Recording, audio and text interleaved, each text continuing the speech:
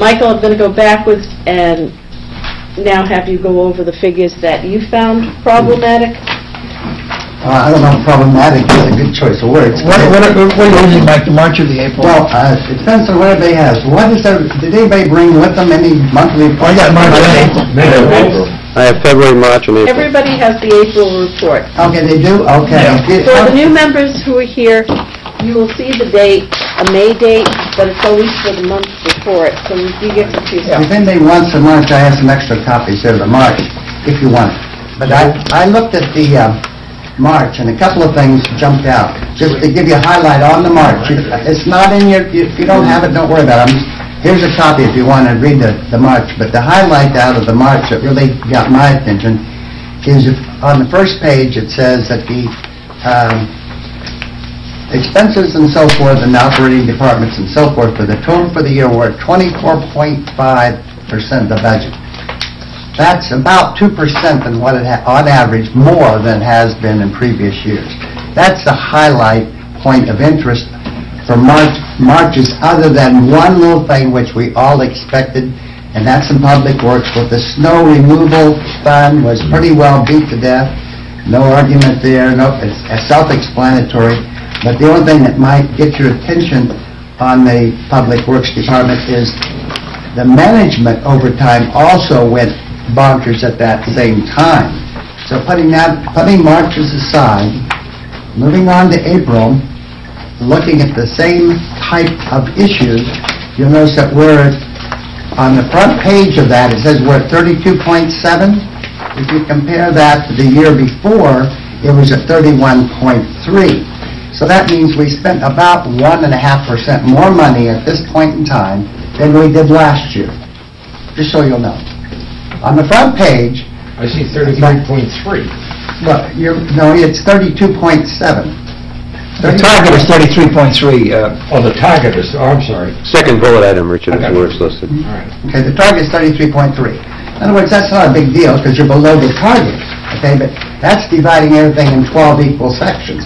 And we know that the town doesn't spend money exactly the same every month. We have several months in the wintertime where the costs and expenses are significantly lower than they are, especially the three months in the summer. So one could argue that you want to be below the target significantly at this point in time and we're only 1% compared to 31.3 last year. So that means we're about a 1.5% ahead of last year, percentage-wise, spending the budget in summary. And- Now, wait a minute, let me give a couple other highlights and we'll move on, because there's not too much else that gets your attention. There's several things that get your attention, but they're all basically small, small things. If you're looking at, on page uh, 10 of, no, that's not 10 of 16, I think it's 9 of 16. There's, let me find it again. I have a little corners turned just so I can flip right to them. Uh, Snow and ice removal on page 11 of 16, you'll notice that we are, uh, you know, right up there on the um, uh, snow removal. Everybody expected that, so it's not, almost a non-issue, okay, all by itself. But then if you look at administration on the previous page, uh, 10 of 16, you'll notice that the overtime for street and highways is really maxing out too. It's just about, um, uh, 100, it's 100.45% on page 10 of 16, the the third item down with numbers on it. Overtime wages, it's 100% already. So that's something to be concerned about all by itself, all by itself. But don't forget, each department has their own bottom line. So in the grand scheme, they might squeak by okay. But keep that in mind that our administration overtime is already maxed. And then going back to the front page, uh, again, uh, the other thing that I want you to notice, but besides the 32.7 on the front page, is if you go back to Public Works, the police department and the fire department seem to have their budget pretty well under control, but if you look at the bottom line of the Public Works, which is on page um, 12 of 16, okay? Uh, public Works is getting right up close to the end. Grand total Public Works, 30.12%. Okay, that's really getting close to the 33.3%. And you know that Public Works, besides snow removal, will be busy in the summer with trash and other things going on at the beach and so forth, and so on. So if we're going to watch a department as we go forward, that's all my suggestion is here, got to keep an eye on um, Public Works, because I have a feeling they're going to have a little trouble. What was that line you were highlighting on that page? Um, 12 of 16? The bottom line? Bottom line, grand- 12 of 16 is the bottom line, grand total? Very bottom line? Thirty percent spent. 30.12? I mean, that's not above the target, but keep in mind, normally, we're significantly below the target this time of year. I mean, Did you see Mike's meeting, did you see yesterday's meeting? The whole selectmen's meeting, 'Cause Mike explained some of this. He explained all that, he he also gave the highlights off the front page. He always goes through all that, which is really great on his part. And if I'd been at the meeting, you know, uh, like Mr. Waddell is here, for example, I don't think I'd had too many questions, because Mike always does a pretty good job of explaining the details on the cover letter. So when you're looking through all the numbers, the first thing you want to do is, I may suggest to you, is read his cover notes. I will imagine Christie will do something similar to that, because it explains a lot of the questions you might have if you're scanning the numbers. Like when I went through this and just scanning the numbers, I had questions on page uh, 16 to 16, like the back buyback program on page Mike, can I just interrupt you for one minute, Sure. going back to 12 to 16? Yeah, 12 to Are 16. you done at 12 to 16? Yeah, 12 to 16. Okay. Transfer station. Now, we know we were going to run high and out of whack with the snow budget based on the weather. Yeah. But now, the sanitation, we're looking at 35.52. So we're off the target there. And we're looking at a lot of overtime wages, up at 48%. And we're not in the high trash part of the year. And I think that we have to hold into these things from now, because this speaks to the lack of manpower that we have, that we're running into overtime to this degree. And I expected the snow removal, I'm keeping my fingers crossed, and fine tune these. I mean, this is something new that we're, we're doing. I mean, we've had Mike Schwotzer in the past who's always led us, and, and now we have a gal who's worked with us. Um, Christy Pulliam is now our new um, financial director up there, and I'm sure she'll do very well, and and Mike is still in the shadows. But I think that you have to start looking at these and and how it corresponds to the labor force that we have. We're running up those numbers. We did this with the fire department a few years back, where we saw excessive overtime that drove us to put four more offices on. We're running into overtime because we just don't have enough people. One thing to talk about the trash going up, I'm sorry, about the snow going up, it snowed. We had ice, they were out there. But this is trash in low, uh, this is um, transfer station in low time of the year. But something I might add to that, Madam Chairman, if you will, if you look at the two lines above it, though, the west waste keeping fees and the waste hauling, Mhm. you notice we're way down on those, and those are big numbers. Mhm. And that more than offsets the uh, wages we're talking about further down. So when I was looking at the bigger picture, if you will, I didn't get too excited about that because it's going to continue along pretty good along this line, because the more pick- trash we pick up, the more recycling we pick up, the more we'll save out of the tipping fees, and the less we'll be spending for hauling trash up to the landfill, even though we still pay, also pay to send up ecomaine. But Michael- So There is a little bit of a, a little bit of a wash there, is what I'm trying to say. Not, not to cover it like you said, but... Doesn't that uh, point you just make beg the question why we're spending so much in overtime to pick up less trash? More trash. No, you just said we're picking up less, didn't you? Well, we're doing recycling. trash. Which takes mm. out of the trash cy- uh, flow, yes. Right. There's trash But- and there's recycling. Right, and I'm just wondering, there there ought to be, if we're spending more overtime in that space, and assuming that we're efficiently distributing the labor, there ought to be a a- a compensating increase in the amount of trash and recycling combined, and I'm not sure we're seeing that. Well, it, it- it In other words, they ought to be picking up more if they're working longer. But one of the arguments we have, though... With the tipping fees going down, you're picking up more recyclables, and that balances is A little going this bit, way. not But you're still all, using, but- you're still using manpower. But the And my big- concern is that, I'm sorry, we're at 48%. Well, I understand. quiet time I- of the year. I understand that concern. Not on a seven-day schedule yet. And and I guess my, my, my big question mark is more anecdotal, because, you know, on my street, we have the the automatic arms that come through, Mm-hmm. and they do that all summer long. But when it's not summertime, they don't use the automatic tru- arms, they use labor.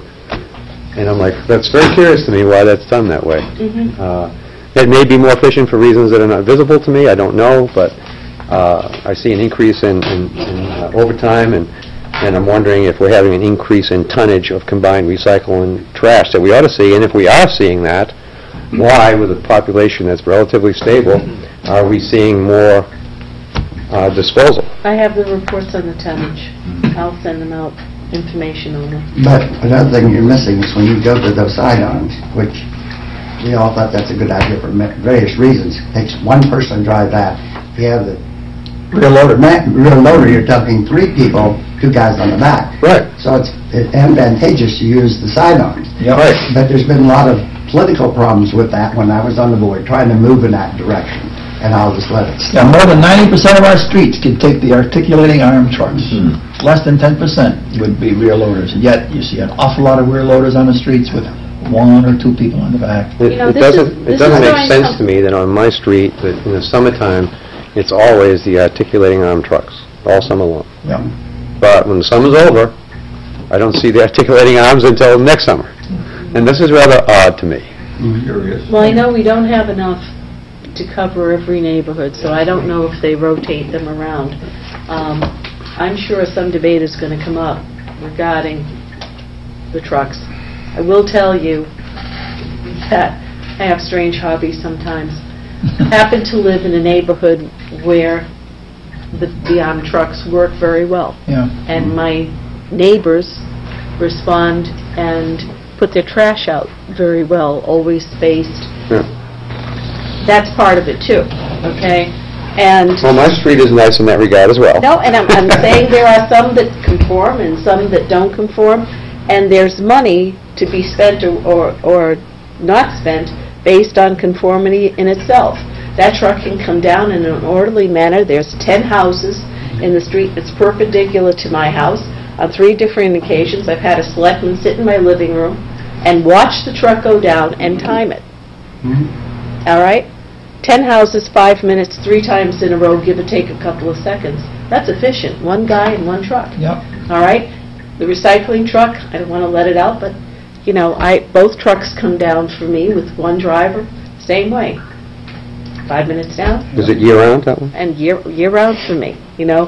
Why is it Uh, seasonal for me? It's like... I don't know, and, and it's like, I don't know that we get into that, I know we don't have trucks for every neighborhood, but we have to look at some of these things. When the trucks first came in, we said, oh my God, they're costing us a fortune, and then wh- what, Jerry, we bought ones with two arms. We only need one arm, all right? So, they're more expensive, but these are things to weigh as you go through the budget year, because they could possibly be saving us quite a bit Mhm. on manpower. There is a trade-off there. And, you know, are we, Jim, are we accumulating any um, repair records on these Yeah, Keith is doing now? yes, yes. Okay, so you'll have more of that information, but I think this is the kind of stuff we have to, we have to really dig into and... and Are we going to do a subcommittee for DPW like we have in the past? Now that we have uh, an expert on board again? Probably. The only question I have is, uh, my question I have is, aren't we really stepping on the toes of the Board of Selectmen? We don't really No. interact with... No. Well, We're we not don't really directing calls. interact with the departments w- monthly. This is about money.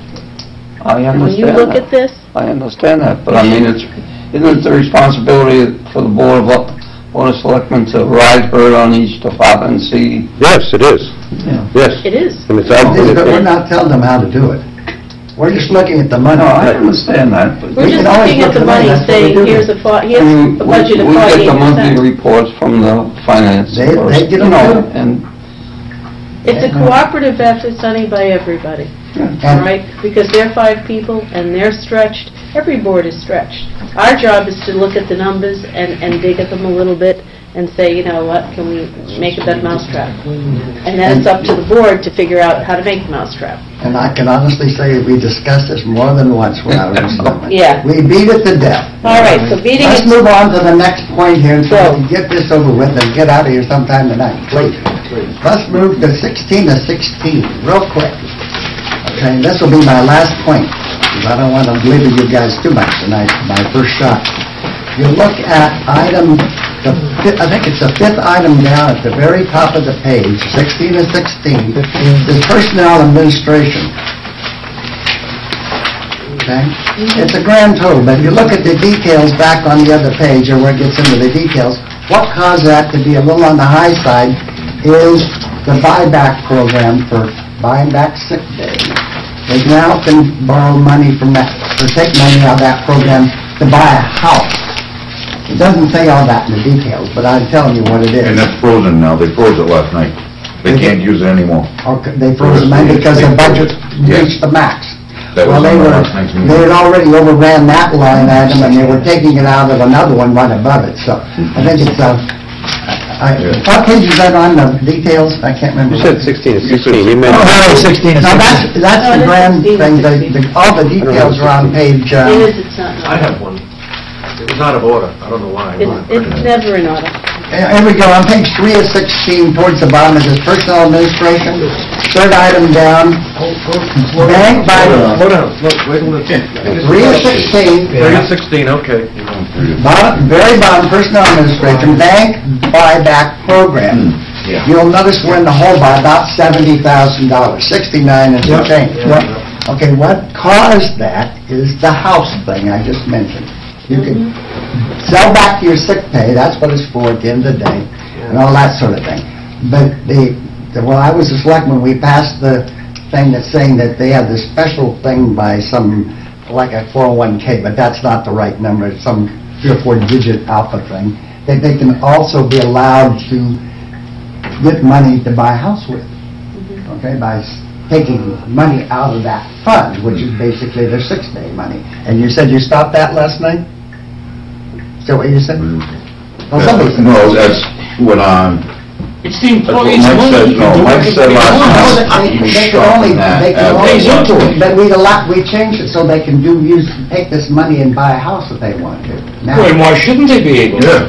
No, no, borrow We money couldn't do against, it to borrow money, not, not to take the money out, but to I've You're borrow. seeing a buyback. I've No, no. Buyback is when you leave and you go- uh, retire. That's right. And you get your money. Right. Okay, but before you retire, now you can take money by borrowing it out of the fund to buy a house with.